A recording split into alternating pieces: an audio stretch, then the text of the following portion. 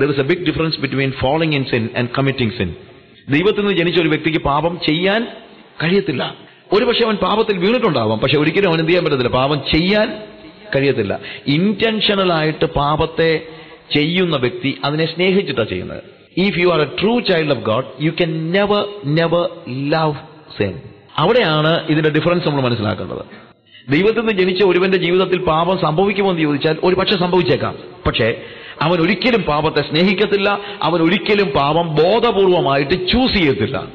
പാപം ബോധപൂർവം ചൂസ് ചെയ്യുന്നവനെ ദൈവമക്കൾ എന്ന് വിളിക്കാൻ കഴിയത്തില്ല. കാര്യം ദൈവത്തിന്റെ വിത്ത് അവനിൽ വസിക്കുന്നില്ല. ഒരു പക്ഷെ അവൻ പാപത്തിൽ വീണിട്ടുണ്ടായിരിക്കാം. പാപത്തിൽ വീണ് കഴിഞ്ഞാൽ നമ്മൾ എപ്പോഴും കേൾക്കുന്ന ഒരു ഉദാഹരണം ഉണ്ടല്ലോ. ഒത്തിരി പ്രാവശ്യം കേട്ടിട്ടുള്ളതാണ്. ഒരു ഒരു ആട്ടിൻകുട്ടി ചെളിക്കുണ്ടിനകത്ത് വീണ് കഴിഞ്ഞാൽ ഒരു മിനിറ്റ് കൊണ്ട് തന്നെ അത് ചാടി എണീറ്റ് എങ്ങനെയെങ്കിലും പിന്നെ അതിനൊറ്റ ലക്ഷ്യമേ ഉള്ളൂ. എങ്ങനെയെങ്കിലും ഈ ചെളിപ്പാടെല്ലാം മായ്ച്ചു കളയണം. അതിനുവേണ്ടി അത് പാറപ്പുറത്തും മരത്തിന്റെ മൂട്ടിലുമൊക്കെ ചെന്നിട്ട് അതിനെ തന്നെ ഒരച്ച് അതിനെ വൃത്തിയാക്കാനായിട്ട് പരിശ്രമിക്കുന്നു. എന്നാൽ ഒരു പന്നിക്കുട്ടിയെ എടുത്ത് ചെളിക്കുണ്ടിനകത്തിട്ട് കഴിഞ്ഞാൽ അത് അതിനകത്ത് മുങ്ങിക്കുളിക്കുന്നു. ഇല്ലേ? കാര്യം പന്നിക്കുട്ടി ആ പന്നിക്കുട്ടി വെള്ള ചെളി വെള്ളത്തിലേക്ക് ചാടുകയാണ്. There is a big difference between jumping and falling കർത്താവിന്റെ അടുത്ത് പിശാജ് വന്നിട്ട് പറയുന്നത് നീ ഉയരത്തിന് താഴേക്ക് ചാടുക. ദേവാലയത്തിന്റെ അഗ്രഹം താഴേക്ക് ചാടുക. ദൂതന്മാർ നിന്റെ കാൽ കല്ലിൽ തട്ടാത്തവണ്ണം കാത്തുകൊള്ളുമെന്ന് തൊണ്ണൂറ് തൊണ്ണൂ- തൊണ്ണൂറാം സങ്കീർത്തത്തിന്റെ ഇതിലുണ്ടല്ലോ സങ്കീർത്തനമൊക്കെ പറഞ്ഞാൽ അവൻ പറയുന്നത്. പക്ഷെ കർത്താവ് പറഞ്ഞു അതാ പക്ഷെ അതിനകത്തൊരു കാര്യം പിശാജ് പറഞ്ഞൊരു കാര്യമുണ്ട്. പിശാജ് എപ്പോഴും വേദോസം പറയുന്നത് തന്നെ തെറ്റിച്ചാണ് പറയുന്നത്. ചാടിയാൽ സൂക്ഷിക്കാമെന്ന് അവിടെ എഴുതിയിട്ടില്ല. വീണാൽ സൂക്ഷിക്കുന്ന കാര്യമേ ഉള്ളൂ.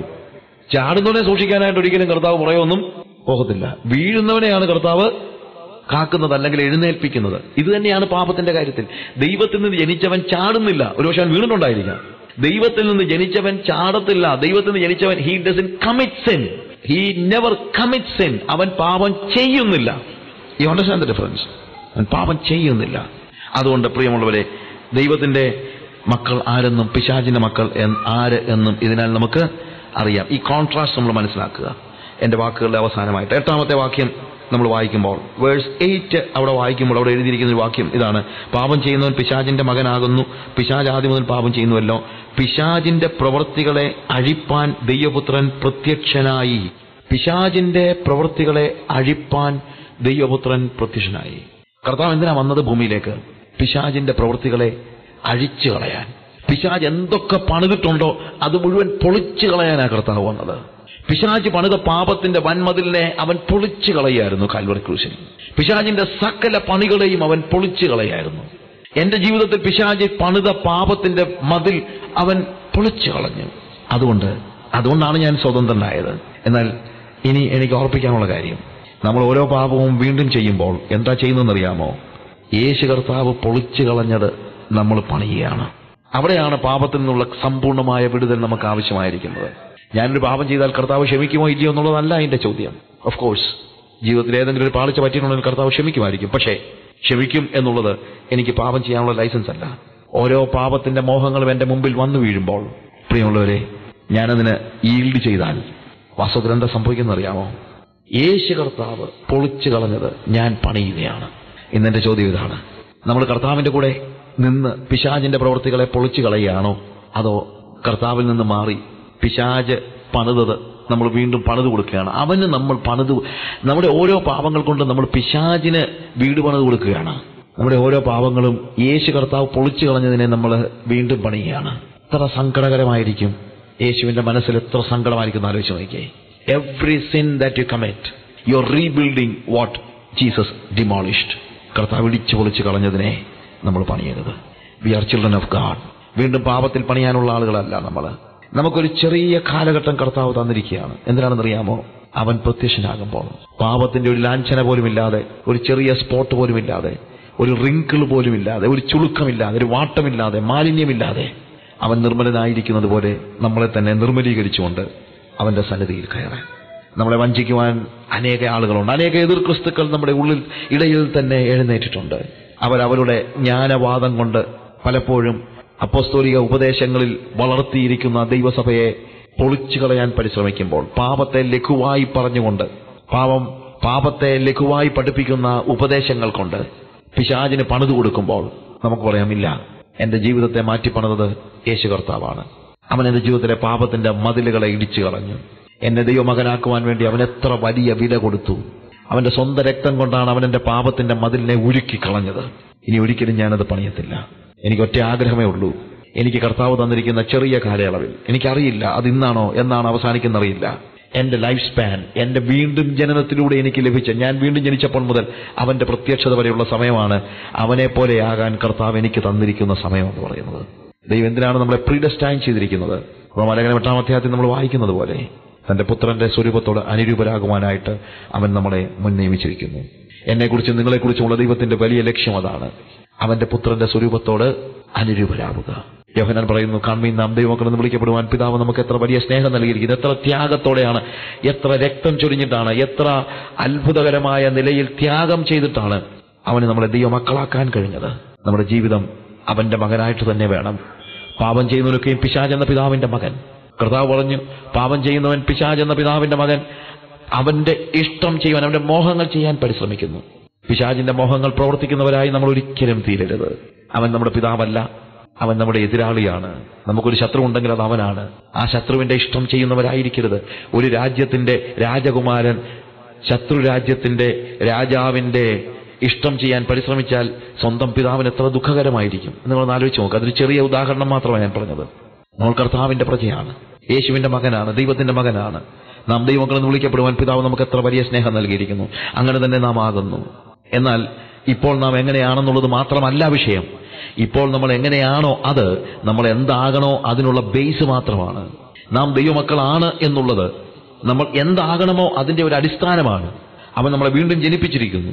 വീണ്ടും ജനനത്തിലൂടെ അവൻ എനിക്ക് നിത്യജീവനെ നൽകിയിരിക്കുന്നു. അവന്റെ ഫസ്റ്റ് വരവ് ഒന്നാമത്തെ വരവ് എനിക്ക് നിത്യജീവനെ തരാൻ വേണ്ടിയാണ്. അവൻ എന്നെ വീണ്ടും ജനിപ്പിച്ചിരിക്കുന്നു. എന്നാൽ വീണ്ടും ജനിച്ച് ഞാൻ വളരണം. വളർന്ന് അവനെ പോലെ ആകണം.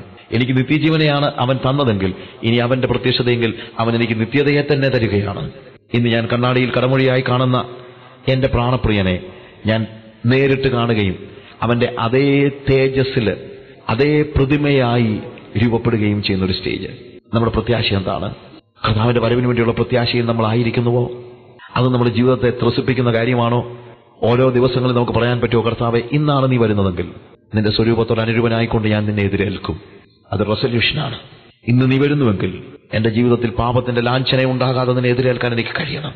എന്റെ ഹൃദയത്തിലെ അസൂയയും എന്റെ പകയും എന്റെ പിണക്കവും എല്ലാം ഒന്ന് എടുത്ത് കള കർത്താവേ. ഞാൻ അതിനെല്ലാം എടുത്ത് കളയാൻ ആഗ്രഹിക്കുന്നു. എന്റെ സഹോദരൻ ഞാൻ വേണ്ടത്ര സ്നേഹിച്ചിട്ടില്ല. നീ സ്നേഹിച്ചതുപോലെ സ്നേഹിച്ചിട്ടില്ല. ഞാൻ പലപ്പോഴും എല്ലാം കണക്കെഴുതി സൂക്ഷിക്കുന്ന ആളാണ്. ഇരുപത് വർഷം മുമ്പുള്ള കാര്യങ്ങൾ പറഞ്ഞുകൊണ്ടിരിക്കുന്ന ആളാണ് കർത്താവെ എനിക്കറിയാം ഞാൻ നിന്നെ പോലെ ആയിട്ടില്ല. പക്ഷെ എനിക്ക് നിന്നെ പോലെ ആകണം. അതുകൊണ്ട് കർത്താവെ ഞാൻ ഈ സമയത്ത് ഒരിക്കലൂടെ ഒരു തീരുമാനമെടുക്കുക ഇന്ന് നിന്റെ വരവാണെങ്കിൽ നിന്റെ പ്രത്യക്ഷതയെങ്കിൽ നിന്റെ നിർമ്മലത പ്രാപിച്ചുകൊണ്ട് ഞാൻ നിന്നെ എതിരേൽക്കും. എല്ലാവർക്കും അവരുടെ കണ്ണുകളെ അടയ്ക്കാം. ഒരു നിമിഷം. പിശാജിന്റെ പ്രവൃത്തിയെ അഴിപ്പാൻ ദൈവപുത്രൻ പ്രത്യക്ഷനായി. അവൻ വന്നത് പിശാജിന്റെ പ്രവൃത്തികളെ അഴിച്ചു കളയാനാണ്. അവൻ ഇടിച്ചു കളഞ്ഞ പ്രവൃത്തികളെ നമ്മൾ വീണ്ടും പണിയരുത്. പ്രിയമുള്ളവരെ എവരിബഡി എല്ലാവരും ഒരു നിമിഷം പ്രാർത്ഥിക്കുക. ഒരു നിമിഷം ദൈവത്തിന്റെ സന്നിധി തങ്ങളെ തങ്ങളെ തന്നെ സമർപ്പിക്കുക. ഒരു റെസൊല്യൂഷൻ ഹലലൂയ മറ്റൊന്നുമല്ല അവന്റെ പ്രത്യക്ഷതയെങ്കിൽ അവനോട് അനുരൂപനായിക്കൊണ്ടായിരിക്കും ഞാൻ അവനെ എതിരേൽക്കുന്നത്. അവന്റെ പ്രത്യക്ഷതയെങ്കിൽ അവനോട് അനുരൂപനായിക്കൊണ്ടായിരിക്കും ഞാൻ അവനെ എതിരേൽക്കുന്നത്. പിശാജ് പണിതതിനെ പിശാജ് കർത്താവ് ഇടിച്ചു കളഞ്ഞെങ്കിൽ ഞാനത് വീണ്ടും പണിയാൻ ഒരിക്കലും പിശാചിനെ സമ്മതിക്കത്തില്ല. അവന്റെ നിർമ്മലത പ്രാപിച്ചുകൊണ്ട് ഞാൻ അവനെ എതിരേൽക്കും. ഹലലൂയ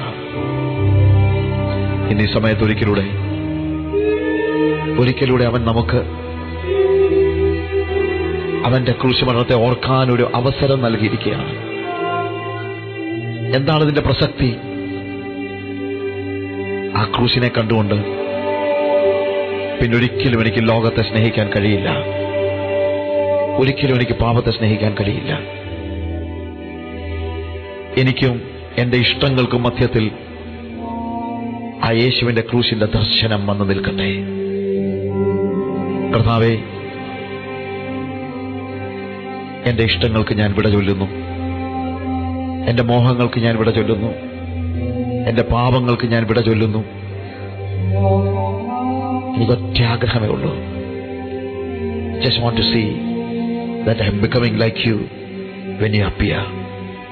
നീ പ്രത്യക്ഷനാകുമ്പോൾ എനിക്ക് നിന്നോട് അനുരൂപനാകണം. വേറെ ഒന്നുമില്ല.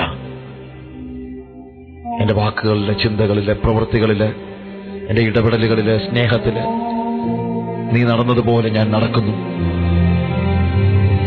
ഇനി ഒരിക്കലും പിതാവിന്റെ മുമ്പിൽ ലജ്ജയോടെ എനിക്ക് വേണ്ടി നിൽക്കുവാൻ ഞാൻ ഇടവരുത്തുകയില്ല കർത്താവേ. നീ എന്റെ മഹാപുരോഹിതനായി ദൈവത്തിന്റെ സന്നിധിയിൽ ഉള്ളതുകൊണ്ട് പാപം ചെയ്യാമെന്നല്ല. ഇനി ഒരിക്കലും ഇനി ഒരിക്കലും ഇനി ഒരിക്കലും കർത്താവെ എന്റെ പേരിൽ പിതാവിന്റെ മുമ്പിൽ ലജ്ജയോടെ നിൽക്കുവാൻ ഞാൻ അവസരം ഉണ്ടാക്കുകയില്ല. പിശാചിന്റെ പ്രവൃത്തികളെ അഴിപ്പാൻ നീ ഭൂമിയിലേക്ക് വന്നു. ഞാൻ അവൻ ഒരിക്കലും ഇനി ഒന്നും പണിതു കൊടുക്കത്തില്ല. എന്റെ ജീവിതത്തിൽ ഞാൻ ഒന്നും അവന് പണിതു കൊടുക്കത്തില്ല. എന്റെ കൈകളിലും കാലുകളിലും എന്റെ ചിന്തകളിലും എന്റെ മനസ്സിലും ആ യേശുവിന്റെ രക്തം ഒഴുകിക്കൊണ്ടിരിക്കുന്നത് കാണുവാൻ എന്നെ സഹായിക്കണമേ. എനിക്കൊരു പുതിയ ജീവിതം തരണമേ കർത്താവേ. ഒരു പുതിയ ജീവിതം. ഞാൻ മനസ്സിലാക്കുന്ന കർത്താവെ നിന്റെ പ്രത്യക്ഷത വരെയുള്ള സമയം എനിക്ക് നൽകിയിരിക്കുന്നത് നിന്നെ പോലെ ആകാൻ വേണ്ടിയാ. അതുകൊണ്ടാ കഴിഞ്ഞ കാലങ്ങളിലൊക്കെ എന്റെ ജീവനെ നീ എടുത്തു കളയാഞ്ഞത്. എനിക്ക് വീണ്ടും വീണ്ടും ഓരോ ചാൻസ് തരികയായിരുന്നു നിന്നെ പോലെ ആകാനായിട്ട്. അത് എത്ര ദിവസം വരെ ഉണ്ടെന്ന് എനിക്കറിയില്ല പക്ഷേ ഇന്ന് നീ വന്നാലും നിന്റെ പ്രത്യക്ഷതയെങ്കിൽ കർത്താവെ നിന്റെ രൂപം പ്രാപിച്ചുകൊണ്ട് നിന്നോട് അനുരൂപനായിക്കൊണ്ട് നിന്നെ പോലെ നിർമ്മലനായിക്കൊണ്ട് നിന്നെ പോലെ വിശുദ്ധനായിക്കൊണ്ട് നിന്നെ എതിരേൽക്കുവാൻ എന്നെ സഹായിക്കണമേ കർത്താവ്. യേശുവിന്റെ നാമത്തിൽ തന്നെ. ആമേ